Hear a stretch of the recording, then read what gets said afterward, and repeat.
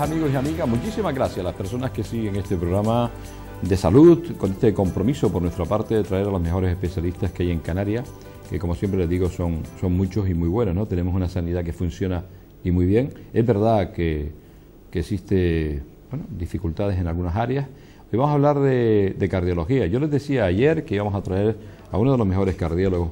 Además, tiene una capacidad a la hora de, comunicar cosas que yo creo que hoy podemos aprender, que es de lo que se trata, que en este programa no solo demos información, sino es posible también formación sanitaria. Me acompaña el doctor don Ignacio Coello García. Doctor Coello, bueno, buenas tardes. Buenas tardes, Julio. Muchísimas gracias por hacer un parón en sus labores profesionales para darnos información sobre algo que nos interesa mucho, que es la salud, ¿no?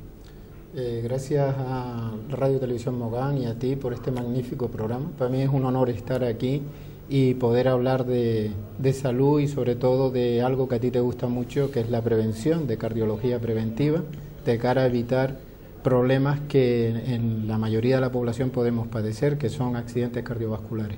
Yo ayer decía que quería hablar con el doctor Coello y hacerle una entrevista en lo que él nos pudiera enseñar de qué forma podíamos hacer para que nuestro corazón durara, durara perdón, más de 100 años y una observación que me dijo él, sano.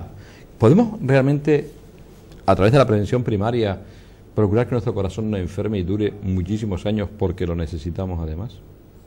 Pues realmente el corazón es un órgano eh, muy fuerte.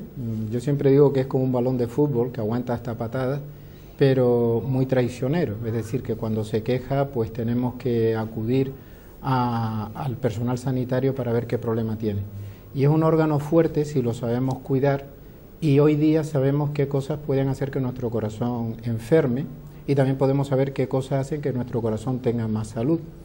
Eh, nuestro corazón eh, normalmente puede enfermar por una serie de, de situaciones o factores que llamamos factores de riesgo cardiovascular y que son factores que realmente eh, los tenemos porque nos da la gana, factores a la carta, como llamo yo como es el sedentarismo, la obesidad, el no controlar la tensión arterial cuando está alta, el no controlar los niveles de grasa en sangre cuando están altos, el no controlar nuestros niveles de glucemia, estamos hablando de diabetes, cuando está descompensada, el sobrepeso, un mal control del estrés, pues son factores de riesgo que en gran mayoría los podemos controlar con una alimentación adecuada, con un poquito más de actividad física, con un cambio de actitud ante la vida. Y luego hay otros factores que no podemos controlar, eh, como es la, genética, pues si nuestros eh, familiares más directos han tenido problemas cardiovasculares, nos tendríamos que cuidar más porque puede haber ahí algún problema de genes. Como puede ser la edad, no podemos quitarnos años, aunque sí podemos darle más años a nuestra vida y por otro lado como es el sexo, donde antes se decía que, que las mujeres normalmente no tenían problemas cardiovasculares y hoy día sabemos que la mujer cuando ya entra en un ciclo de menopausia tiene problemas cardiovasculares y a veces con más severidad que el, propio sexo masculino. Del doctor Coelho yo eh, he cogido algunas frases que él ni sabe que le voy a preguntar esto. Son frases de él, cogidas en, en unos contextos cuando he tenido la posibilidad siempre de entrevistarlo. Y cuando uno acude a libros interesantes, libros serios de, de, salud o de mirando enfermedades, ve uno que efectivamente se repite en esta frase. Esa frase que era, vivimos lo que viven nuestras arterias, una frase que yo, que yo le, le, arrebaté, y también somos lo que comemos. ¿Por qué no me...? Pues sí. Eh, mm, ¿Por dónde quieres que empiece? ¿Por somos lo que comemos? Somos lo que comemos. Lo que somos lo que comemos porque además estamos haciendo aquí un mm. programa intentando ayudar que tres personas aprendan a comer. Pues somos lo que comemos. Es decir, eh, evidentemente mm, nuestro cuerpo, para cuidarlo, nos basamos en respirar un aire puro, en una alimentación sana, en beber un agua que sea la adecuada y en hacer un poquito de ejercicio. Básicamente con eso podemos mantenernos vivos durante mucho tiempo. Pero no es lo mismo comer una comida sana o cardiosaludable que comer comida basura, porque a ti no se te ocurriría ponerle al coche una gasolina eh, que estuviera en malas condiciones o que estuviera pasada por agua, o en vez de ponerle gasolina, pues ponerle aguarrás o alcohol, porque ¿qué pasaría con el coche? Se estropearía. Y el mío más, porque lo tengo medio estropeado. Pues nuestro organismo es muy sabio y a pesar de darle porquerías y darle comida basura, es capaz de neutralizar esa situación en el tiempo hasta que llega un momento que empiezan a haber problemas pues de obesidad, de sobrepeso, de caries si estamos tomando más hidratos de carbono de la cuenta, problemas vasculares si estamos tomando una alimentación muy grasa. Por tanto, eh, somos lo que comemos. Es decir, si llevamos una alimentación sana y para tomar una alimentación sana no hay que hacer ningún curso, ni hay que hacer ningún máster, simplemente tenemos que ver lo que comían nuestros padres o lo que comían nuestros abuelos o lo que comían nuestros antepasados, que eran más fruta, más verduras, más ensalada, más potaje, es decir, más comida menos procesadas que hoy día. Hoy las comidas están muy procesadas, comidas congeladas, comidas rápidas, lo que llamamos comida basura, etcétera, etcétera, etcétera.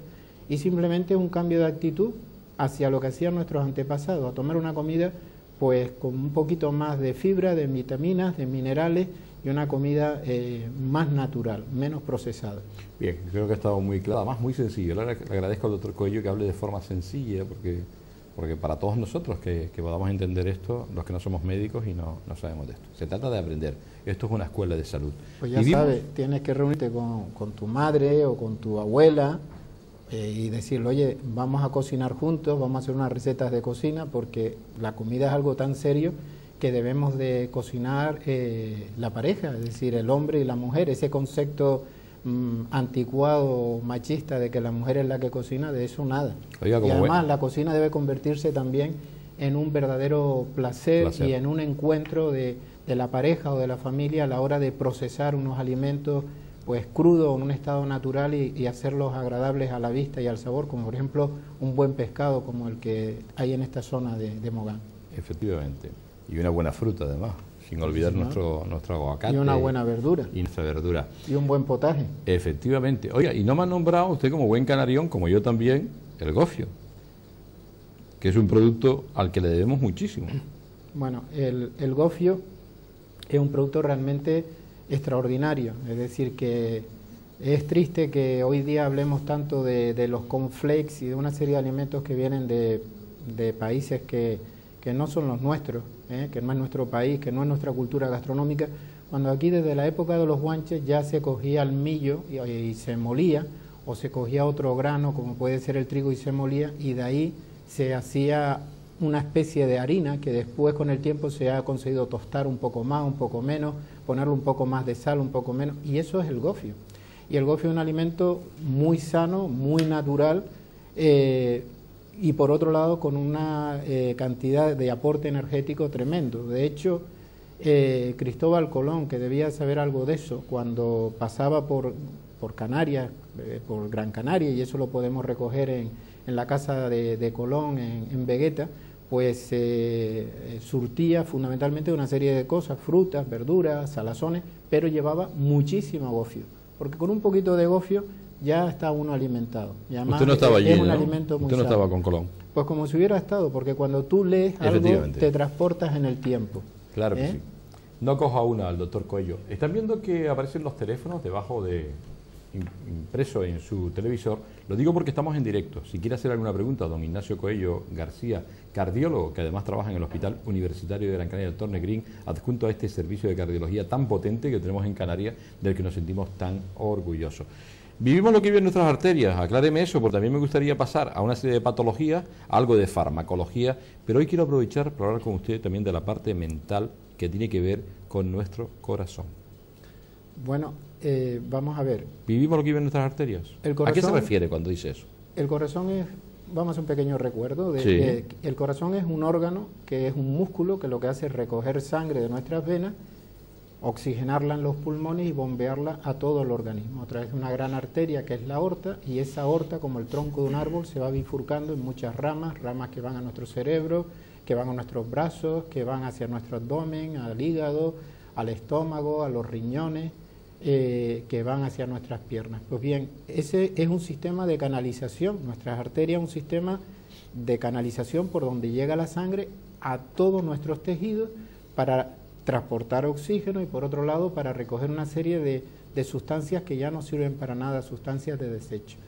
Si nuestras arterias se enferman por algo que, que, hoy día desgraciadamente vemos que en etapas tempranas de la vida puede enfermarse, que es la arteriosclerosis, que es un endurecimiento y un depósito de grasa en torno a, la pared interna de la arteria que va a la larga a llevarla a una obstrucción, eh, de la misma manera que una cañería de agua o una sequía que está llevando agua a una finca de plátanos, pues si esa, esa cañería se llena de barrula y se tupe, esa finca de plátanos no llega al agua y ¿qué va a pasar? Que donde estaba todo verde se queda un desierto, ¿no? Sí, señor. Pues lo mismo pasa con nuestros tejidos, donde llega la sangre, donde un órgano como es nuestro cerebro, nuestro propio corazón con las coronarias o nuestros brazos, nuestros riñones o nuestras piernas funcionan porque está llegando de una manera adecuada la sangre con oxígeno y nutrientes, pues se obstruye una determinada zona porque esa arteria se enferma por algo que, podemos hablar después, que es la arteriosclerosis coronaria, y que se produce, o la arteriosclerosis vascular, por un mal control de los factores de riesgo que antes hablamos, pues no llega la sangre y empieza ese órgano a claudicar, te avisa en forma de, dolor, en forma de, mm, trastornos en la marcha, etcétera, etcétera, hasta que llega un momento que si la arteria se cierra, pues no llega la sangre, y si no llega la sangre, no llega la vida, porque la vida va muy unida a la sangre. ¿eh? Y si no llega la vida, ¿qué es lo que llega? La muerte. Y llega la muerte de un tejido. Puede llegar la muerte de una zona del cerebro, estamos hablando de un ictus isquémico. Puede llegar la muerte de una zona del corazón, y estamos hablando de un infarto de miocardio. Puede llegar la muerte de un riñón, y estamos hablando de un infarto renal. Puede llegar la muerte de una arteria en una pierna, y estamos hablando de una gangrena y una amputación. Por no haber cuidado nuestras arterias. ¿Y cuándo hay que cuidar nuestras arterias? Qué importante es eso. Cuando nos enfermamos. No eso es la prevención primaria, de la que estamos hablando desde siempre. Pues cuando nos enfermamos es como cuando ya la vida nos mete un gol e intentar echar marcha atrás de ese gol que nos ha metido la vida. Lo que hay que intentar es que la vida no nos meta goles. Es decir, defendernos ante este tipo de problemas que pueden hacer que nos enfermemos. Llevando una alimentación sana, que hemos hablado antes un poquito de eso, haciendo un poquito de ejercicio, haciéndonos un chequeo al menos una vez al año, porque ya que llevamos el coche a pasar la ITV una vez al año, si hay un, ruido o un problema, lo llevamos a un mecánico, pues cuánto más deberíamos de controlar y cuidar nuestro organismo, haciendo un poquito de ejercicio, manteniendo un peso adecuado y en definitiva teniendo una actitud positiva y una actitud eh, activa ante la vida. Y estamos hablando de los pilares básicos de lo que es la cardiología preventiva. A lo mejor es una percepción mía y aquí el que sabe usted me lo aclara por favor, o nos los aclara. Eh, ¿Da la impresión de que la gente no le da esa importancia a la prevención primaria, cree usted? ¿O no? ¿O si la gente se cuida? Lo digo porque la gente fuma, la gente bebe de forma desaforada, la gente come lo que le da la gana. Hasta que, claro, llega el médico y le dice, oiga, esto aquí eh, hay que hacer cosas. ¿Usted no cree que se podían hacer antes y que es un tema cultural? No es fácil entender esto que usted dice de forma tan sencilla y que puede asustar cuando aparece la enfermedad, pero antes no nos asustamos. Bueno, es que realmente... Eh, debemos de cuidarnos antes de enfermarnos, pero hay un refrán canario que dice que uno se acuerda de Santa Bárbara cuando truena. En ese momento es cuando nos acordamos de, que tenemos un problema. Eh, a veces la situación es, tan, tan curiosa o tan triste o tan llamativa que hoy día las cajas de tabaco yo creo que tienen mm, una, un aviso y además una fotografía que verdaderamente es para plantearse si uno debe de seguir pagando por un hábito que te está enfermando, tu dentadura, tu estómago, tu aparato cardiovascular, tu líbido, que cuando te ves a alguien pues tu boca sabe un cenicero, etcétera. Es decir, eh, podemos hasta quemar nuestros montes con esa colilla, es decir, es algo sucio, estamos contaminando al que está en el entorno nuestro porque los convertimos en fumadores pasivos. Y en cambio hay todavía un 30% de la población que sigue consumiendo tabaco, una población de personas eh, cultas, de personas que saben leer lo que pone allí, fumar mata. ¿Qué es lo que puede estar pasando por las cabezas de esas personas? Pues bueno, a mí esto no me va a dar, esto le va a dar al vecino del frente, cuando me dé ya me controlaré, necesito que alguien me ayude para dejar el hábito del tabaco. O sea, empezaste a fumar sin que nadie te ayudara y ahora para dejar de fumar te tiene que ayudar alguien. Tenemos falta de voluntad y falta de tenacidad y falta de, de capacidad de, lucha en un momento determinado y ver todo lo que puede producir el consumo de tabaco. No solo ya un deterioro económico de lo que vale una cajetilla, no solo ya contaminar al que está en el entorno nuestro como un fumador pasivo, sino que empezamos a adquirir una serie de puntos para el infarto de miocardio, para una serie de arritmias, para trastornos de la coagulación, para trombosis y no digamos infarto eh, y problemas ya de, tumores como el cáncer de laringe o el cáncer de pulmón. Es muy raro que veas un cáncer de pulmón hoy día, primera causa de cáncer en el, en el hombre y en la mujer que se está acercando detrás del cáncer de mama, es muy raro que vea un cáncer de pulmón y que no sea una persona que fume. ¿De acuerdo? Que quede claro. Me encanta hablar con usted, doctor Coelho. ¿A ti te ha quedado claro? Joder, me ha quedado súper claro y a nuestros televidentes también. Pues- Recuerden, pero muy clarísimo además. Eh, es una suerte tener aquí al doctor don Ignacio Coello en la televisión pública, en la radio televisión pública de Mogán, porque, porque esto es un lujo, eh, poder hablar con Entonces, ¿tú por qué crees que la gente fuma, Julio? Yo lo que sí le digo es que yo fui fumador, llevo más de 30 años sin fumar y es lo mejor que he hecho en mi vida. Lo mejor que he hecho en mi vida ha sido dejar de fumar. Y le voy a decir algo más, dejé de fumar de forma drástica y, me vale el ejemplo que usted acaba de dar. Empecé porque me dio la gana y lo dejé porque me dio la gana. Y no tomé ni, ni, ni, mastiqué chicle, ni hice ninguna chorrada, ni me gasté pasta en nada. Cogí, tiré la cajetilla y digo, y me voy a aguantar. y voy a decir una palabrota, pero como estamos en un horario infantil no lo digo. No, no te gastaste dinero, no. Empezaste a ganar dinero. Hombre, por empezaste a ahorrar lo que te gastabas en la caja. Cuando fuiste a tu dentista se puso contento porque ya, dice, no, Oye, ya no vienes con los dientes amarillos. Eh, te cansabas menos cuando hacías deporte, que yo sé que tú eres, eres, un deportista. Cuando usted quiere echamos un eh, partido. Ahora estoy con el pádel. Muy bien. Como Aznar. ¿Usted también? Bueno. Usted no juega al pádel. bueno, vamos a seguir hablando. Ya digo, una suerte. Para, para, hacer deporte no hace falta jugar pádel, ¿eh? también, ¿verdad? Con, caminar. Con salir a caminar ya tienes bastante. Usted sale como su amigo. sitios magníficos para caminar. Me acordé el otro día porque le dieron un premio a un amigo suyo, que además aprecia mucho y creo que además le admira, porque me lo ha dicho usted, por eso también juego con ventaja, porque yo he tenido la suerte de entrevistar al doctor Coello varias veces, ¿no? Que es el doctor Valentín Fuste, que es eh, una eminencia en cardiología que está en Estados Unidos y que es un orgullo para todos los españoles, en el que estamos nosotros y que evidentemente eh, creo que habría que comentarlo, le han dado un premio mm. y el doctor Valentín Fuste me dijo usted que mm, nos recomendaba que tuviéramos una mascota.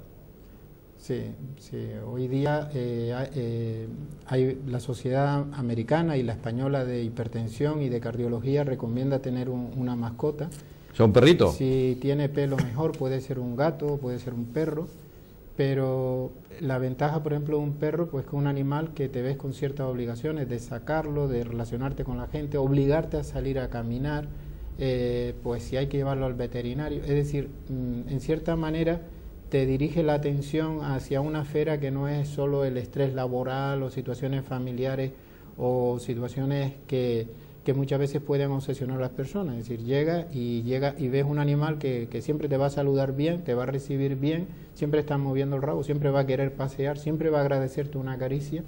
Y creo que una mascota siempre da mucho más de lo que nosotros le damos, ¿eh? porque pueden dar eh, hasta la vida por, por su dueño. ¿no? ¿Qué marca de perro tiene usted? es que esto hay un chiste, ¿no? Por eso le digo, igual hubiera dicho SEAT, ¿no? No, mi perro no tiene marca. Mi perro... tiene marca España, mi perro, eh, yo... Eh, no me ¿Tiene gusta, o no tiene? No me gusta decir que es un mil leche. Entonces digo ¿Mil leche? Sí, un mil que lo escucho. Son, son perros que, que vas al, al, asilo y allí los recoge. Entonces este es un perro, a mí me gusta llamarlo canis canariensis porque es un perro canis y es canariense pues nació en Canarias. Entonces, cuando digo canis canariense, pues la gente eh, parece que el perro eh, mejora su pedigrí. Pero realmente es un perro, perro único porque no sé ni de qué madre, ni de qué padre es, ni, ni, de la familia. Pero bueno, de la familia. cumple su misión que es ayudarme a salir a caminar más, hacer ejercicio y, y, sobre todo pues las satisfacciones que le da a los hijos y a la familia, ¿no? Bueno, entramos otra vez en el mundo de la cardiología. Yo aprovecho lo de la gracias, doctor Coello. Pero no sabía que íbamos a hablar de veterinaria. De, veterinaria. También. Con usted para hablar de cualquier cosa. Bueno. A lo mejor ya hablo también de la Unión Deportiva Las Palmas. Mire, vamos a hablar de hipertensión. A veces eh, la hipertensión es, una enfermedad, no es una enfermedad. ¿Quién la debe tratar? Aquí estamos siempre con esta historia, ¿no? Y, el cardiólogo trata la hipertensión y la trata el nefrólogo y la trata el medicina interna, incluso hasta el endocrino. Y entonces yo le voy a hacer una pregunta concreta al doctor Coello y así nosotros también aprendemos, ¿no? Si tenemos una hipertensión y queremos ir a un especialista porque queremos que nos la controlen porque estamos con una tensión descontrolada, ¿quién debe tratar la hipertensión, doctor Coello? ¿Ustedes o alguno de los colegas que he nombrado? La hipertensión la debe de tratar quien la sabe tratar, es decir, que no hay que tener un título de una especialidad para saber eh, cómo manejar eh, las cifras altas de tensión arterial, que es un factor de riesgo cardiovascular de primer orden. Y las puede tratar desde el médico de atención primaria al especialista en nefrología o al especialista en cardiología. Lo importante es saberla tratar. La hipertensión, desgraciadamente, la padece prácticamente un 30 o un 40% de la población y conforme nos vamos haciendo mayores, pues mm, mayor número de hipertensos hay. Y lo primero que hay que saber si un paciente es hipertenso o no, porque puede llegar a una consulta y tener la, tensión un poco alta y ser una tensión reactiva de bata blanca de esa situación. Si un paciente es hipertenso no, ¿por qué es hipertenso? Eh, no podemos decir usted es hipertenso, le voy a poner una medicación ya de por vida. No, no, ¿por qué es hipertenso?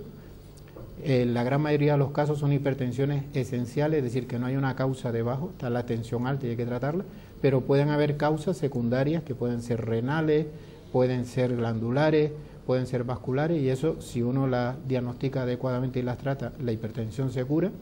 Después debemos de evaluar el grado de hipertensión, es decir, la hipertensión daña una serie de órganos, como es el cerebro, como es la retina, como es el corazón, como son los propios riñones, pues tenemos que saber cómo están esos diferentes órganos y sabiendo ya si un paciente es hipertenso, por qué es hipertenso, qué grado de afectación le está produciendo la hipertensión en sus órganos diana, podemos considerar si requiere un tratamiento o no.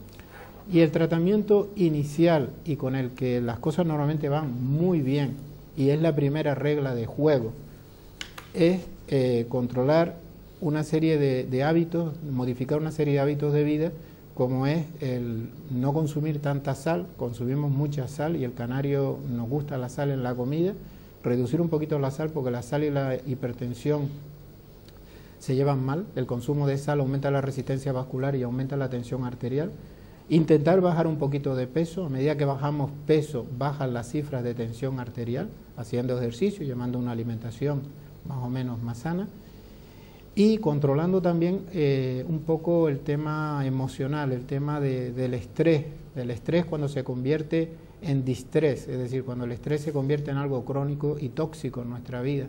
Y tenemos que buscar técnicas y tácticas para controlar mejor ese tipo de situaciones. Interesante. Eh, ¿Les parece que hablemos un poquito del colesterol también? Hemos oído hablar muchas cosas. A mí me llama la atención que incluso salgan productos en, en la televisión. Ya saben que yo soy bastante enemigo de una publicidad engañosa, porque creo que con la salud se intenta ganar dinero y a mí eso me parece una canallada. Por eso siempre digo que deben de acudir a su médico de familia y preguntarles que tienen una formación ante productos raros que puedan aparecer. Si es cierto que existen productos alimenticios que parecen que funcionan y está demostrado científicamente. Yo le quiero preguntar por ello para después hablar sobre el tema del colesterol bueno, el colesterol malo. Hay unos esteroles, unos productos que no voy a dar marcas, que dicen que funcionan con una dieta. ¿Se ha hecho algún tipo de experimento, me refiero de, investigación científica seria para contrastar? Porque además nos bombardean, sale hasta el seleccionador nacional, lo ha visto, ¿no? Mm. El marqués, al que le debemos mucho, ¿no? Futbolísticamente hablando, claro. Eh, cuando nosotros tratamos las cifras altas de colesterol en sangre, cifras altas de colesterol malo, porque puede estar el colesterol eh, alto a expensas del colesterol bueno, que es un colesterol que se conoce como HDL, que es un colesterol que limpia las arterias.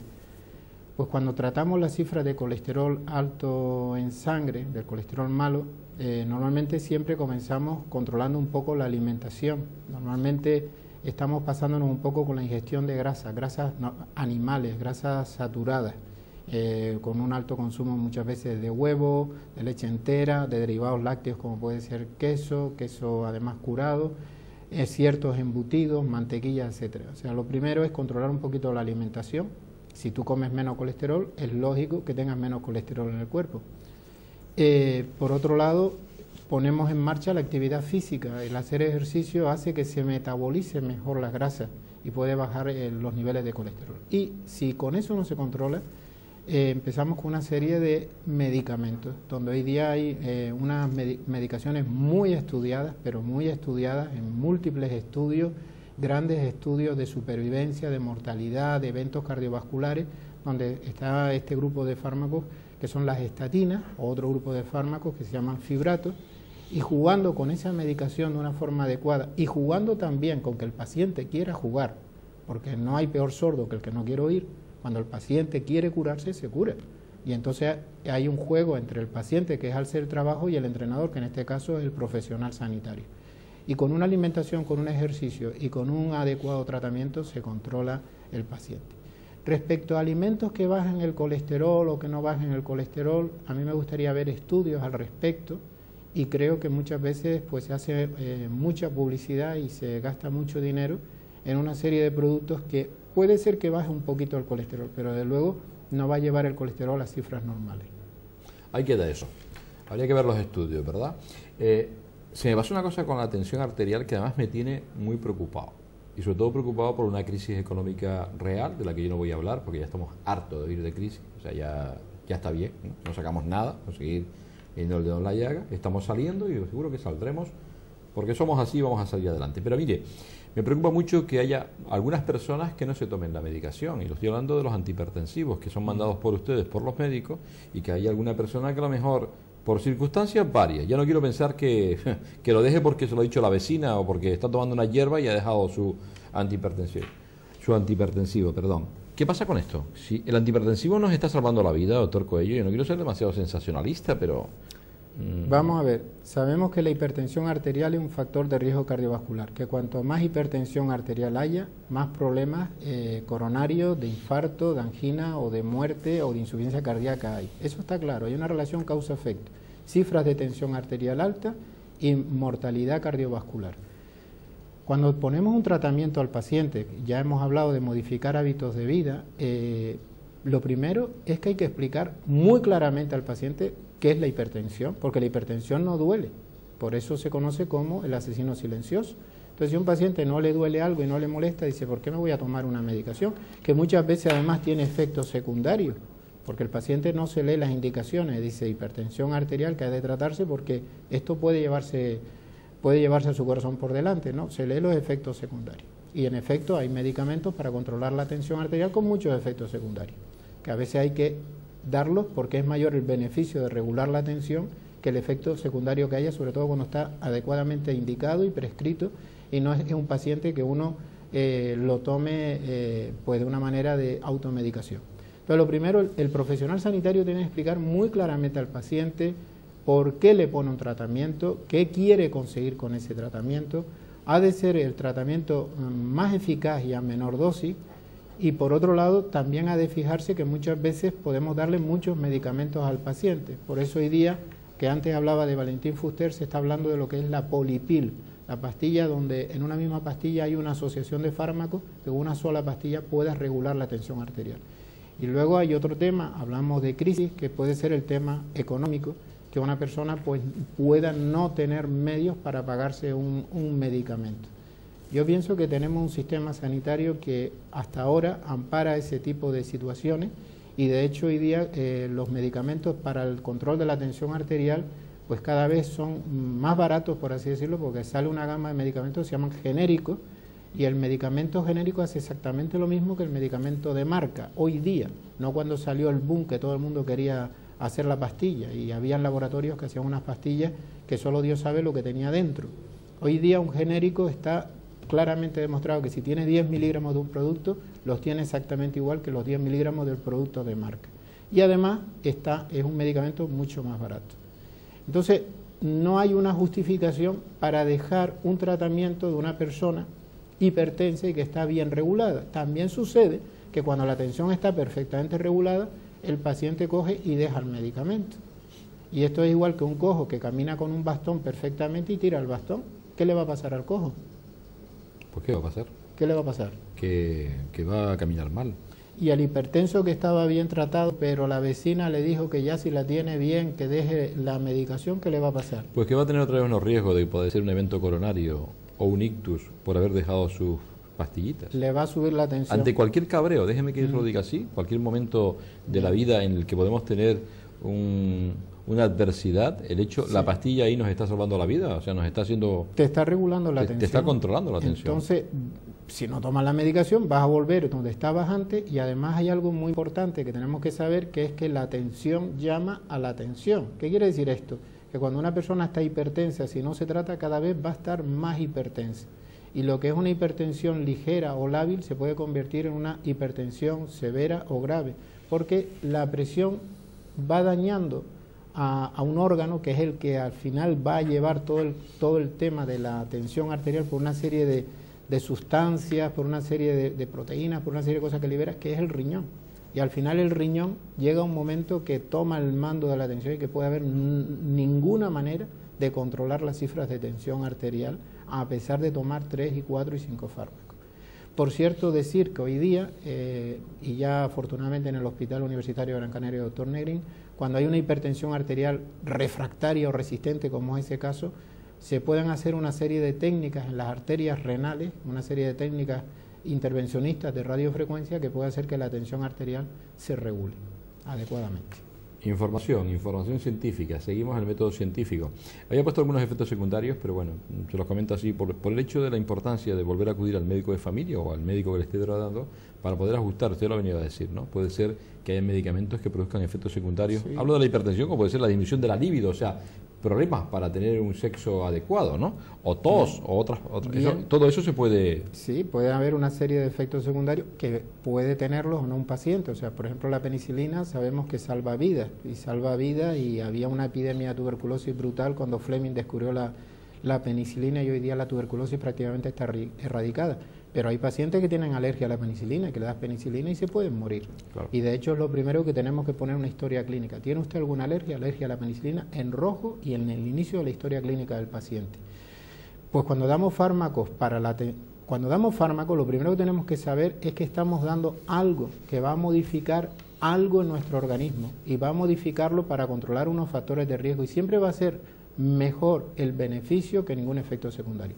Pero hay que saber que puede haber un problema de idiosincrasia del paciente, puede haber un problema eh, que el fármaco pueda producir un, tipo de situaciones específicas, puede no darse la dosis adecuada. Por ejemplo, pues hay fármacos que pueden dar tos, fármacos que pueden dar problemas respiratorios, fármacos que pueden disminuir eh, la libido, etcétera. Y eso hay que saberlo. Y también hay que decirlo al paciente. Oiga, hay un 10% de, de pacientes que cuando toman este medicamento pueden tener tos si usted se nota este problema, por favor me lo dice y buscamos otra alternativa. Bien, hemos eh, transcurrido media hora, se le ha ido pronto seguro. Muy bien. Y me queda mm, mil, un millón de preguntas. Siempre tendremos tiempo de hacer otro programa. Efectivamente. vamos a, no, pero vamos a ir un momento a publicidad. A la vuelta me quedan dos temas muy importantes. Uno va a ser eh, corazón y sexo, que muchas personas están preocupadas con ese tema. Eh, hacer una rehabilitación para mí significa, desde mi punto de vista, ¿Cómo podemos, si ha tenido usted un evento coronario, ha tenido una enfermedad coronaria, cómo puede usted sentirse una persona normal, vivir, vivir la vida, sabiendo que tiene ese problema, lógicamente? Vamos a hablar con el doctor Coello sobre ese tema y después un poquito de lo que creo que el doctor Coello es un experto también. Ya ven con la serenidad con la que habla, con la paz con la que habla. Yo siempre le he conocido así, creo que tiene algún truco. Se está riendo, pero es verdad le voy a intentar eh, hablar con él sobre el tema del estrés, las catecolaminas, la adrenalina, personalidad tipo A, personalidad tipo B. Oiga, cosas muy importantes para poderlas modificar pero tú tienes un perro, ¿no? Y yo tengo tres perros. ¿Tienes tres perros? Se lo juro. ¿Y qué raza son? Son tres, tienen marca. ¿Sí? Ah, son, de marca? Son de marca. Ah, muy bien. Tengo dos Yorkshires, sí. que se llaman Nano y Nemo. Sí, sí. Y ahora tengo uno pequeñito que... Oye, tú eres un tío fino, ¿eh? No, es yo que tengo, yo debo caminar tres veces al día. Yo que camino tres veces al día, entonces saco uno, saco el otro y saco el otro. O sea que das tres paseos. Exacto. Porque Valentín fue usted, recomendó caminar. Sí, pero un perro, ¿eh? No, ah, pero te tres no. de rosca. Ya tres hay que trabajar para y también voy a hablar con el doctor Coelho la importancia del sentido del humor, pues para, para ir más tranquilo, ¿verdad? Hay que reírse, reírse de uno mismo. Y gatos no tienes, ¿no? Gatos no tengo. Vamos a publicidad que voy a seguir hablando de animales y volvemos enseguida. Dígame usted.